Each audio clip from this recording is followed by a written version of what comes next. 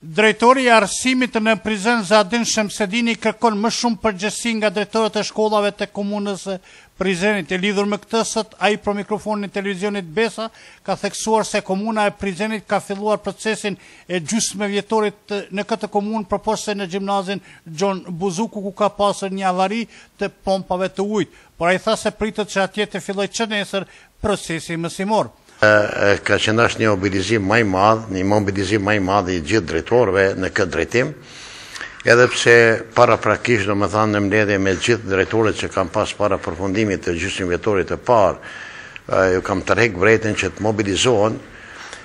mirëpo natyrisht që moti tepër i ftoftë, temperatura shumë të ulta, megjithatë kanë ba të vetën të themi, por Por mendoj që edhe ka qenë pak a shumë neglizhenca e drejtorëve, por në përgjithësi kur të marrim nga 108 objekte shkollore që janë në komunën e Prizrenit, vetëm dy objekte, vetëm një ditë që ka pas rast që kanë humbë mësimin, nuk ka qenë dashtë edhe kjo të ndodhë, por ndodhi. Ndërsa një ndërprerje të procesit mësimor e kemi pasur në fshatin Randobravë, pasi që atje kompania e ujësjellësit Radoniqi nuk ka arritur të bëjë eliminimin e disa avarive, por sot pritet të kryhen dhe që nesër të fillojë procesi mësimor edhe në fshatin Randobravë. Dje, domethanë, nuk ka fillu mësimi edhe në shkollën fillore në Zhur, që për shkak të ngricave, për shkak të motit pra që ka qenë me temperatura shumë të ulëta, ka pas edhe aty një prishje, por dje janë evitu dhe sot ka filluar mësimi edhe në Zhur. Ndërkaq sot kemi një ndërprerje të mësimit vetëm për sot në shkollën fillore në Randobravë, për shkak të mungesës së ujit që vjen nga sistemi i Radoniqit, ku në këtë sistem po ashtu kemi disa defekte dhe në bazë të bisedës që kam pas me përgjegjësit e këtij sistemi, pritet që po ashtu sot të evitohet, domethanë, gjitha këto damtime në gypat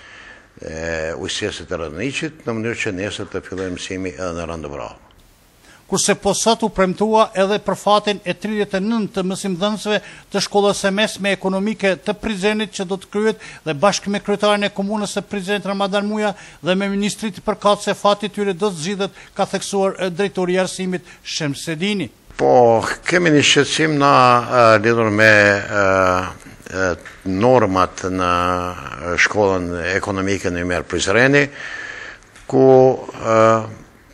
Në vitin dy mijë e gjashtëmbëdhjetë kah fundi, pra kemi pas edhe aty një shqetësim, mirëpo e rregulluam deri për vit ri, por përsëri tash jemi në kontakt me Ministrinë e Arsimit dhe me Ministrinë e Financave që